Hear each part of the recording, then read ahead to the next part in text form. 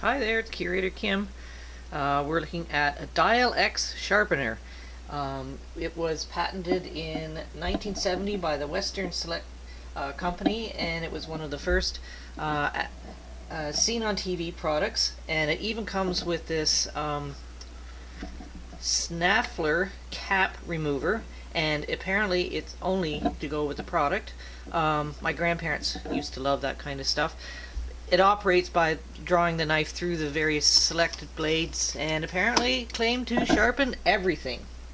So, there's your Dial X sharpener.